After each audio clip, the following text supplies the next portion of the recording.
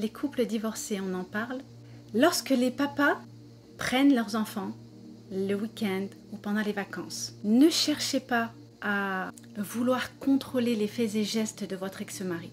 Ne cherchez pas à questionner vos enfants pour leur demander qu'est-ce que papa a fait, où est-ce qu'il vous a emmené, est-ce qu'il vous a fait ci, est-ce qu'il vous a fait ça. Vous n'êtes plus mari et femme. N'imposez pas votre façon d'éduquer, de vouloir éduquer. Votre perception est la vôtre. Il y a des papas qui savent faire, il y a des papas qui ne savent pas faire. Laissez vos enfants profiter de cet instant qu'ils passent avec leur père.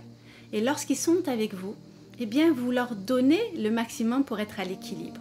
Mais ne gâchez pas cet instant privilégié qu'ils ont avec leur papa, ne serait-ce que même s'ils passaient une heure de qualité avec lui. C'est important pour eux. Ne cherchez pas à les questionner, ne cherchez pas à savoir. C'est important parce que vous mettez vraiment vos enfants dans une difficulté affective qu'ils n'ont pas envie de vivre.